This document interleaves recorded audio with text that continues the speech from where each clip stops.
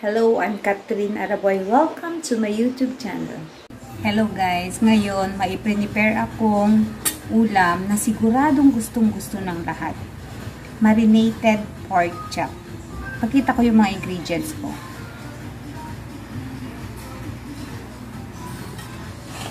Pork chop.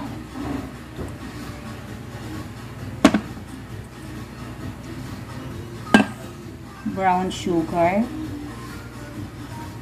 Soy sauce. 5 pieces of calamansi. Paminta, black pepper, at bawang. Guys, maglagay tayo ng 6 tablespoon of soy sauce.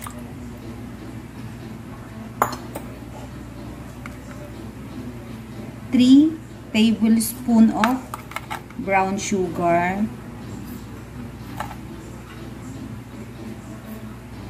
Minsan na i-mix natin to ah.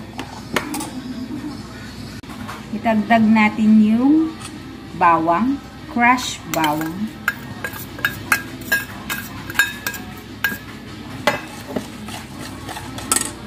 Pinong paminta.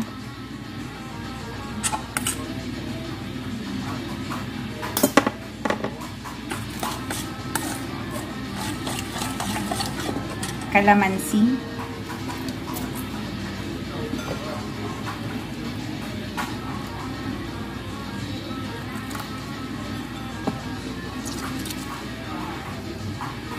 5 pieces of calamansi. Ah. Mix natin. Hanggang matunaw yung brown sugar.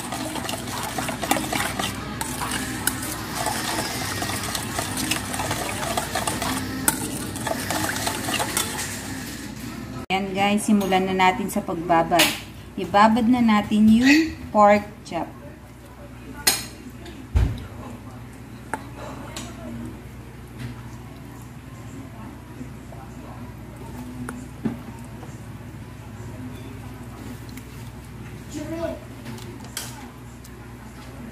Lahat ito babad natin ha.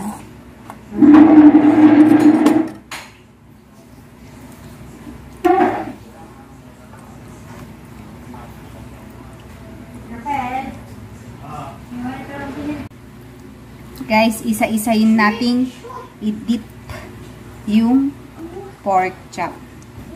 Isa-isayin natin ha.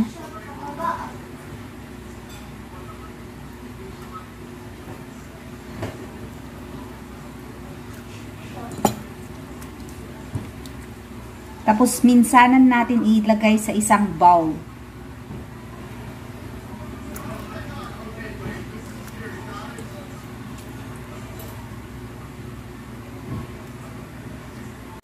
Yan guys, prepared na.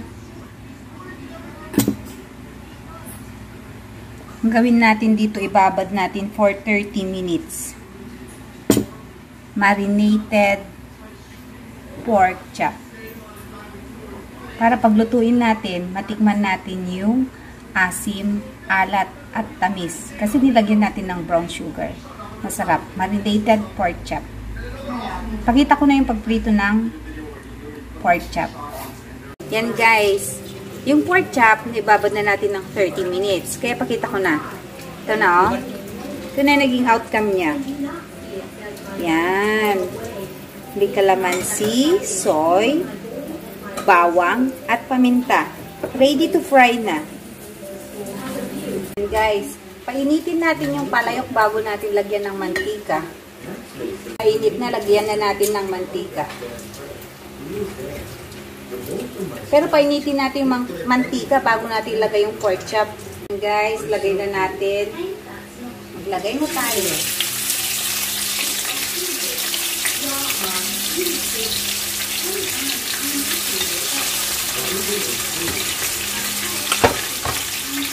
Ayan guys, tignan nga natin kung pwede na tabalik rin natin yung pork chop. Ayan, balik rin natin. Oh, pwede na.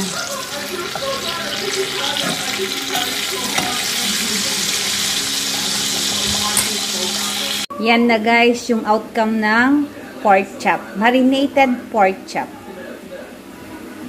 Again guys, thank you for watching my marinated pork chop. Try nyo masarap to. Again, thank you for watching. Please like and subscribe. And don't forget to click the notification bell.